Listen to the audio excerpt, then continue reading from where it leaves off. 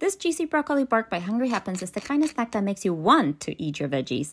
Instead of boiling the broccoli, use this genius shortcut. Steam it in the microwave to make it easy to smash. While the broccoli cooks, I sprinkle a generous amount of Parmesan on a tray. And I mean generous. Now here comes the fun part. Once the broccoli is cooked, smash each floret directly into the Parmesan with the bottom of a glass or measuring cup. Bake for 25 to 30 minutes at 425 or until crispy. You'll know once it's ready because the cheese will sound like this. I like cutting it into chips and enjoy each salty, crunchy bite.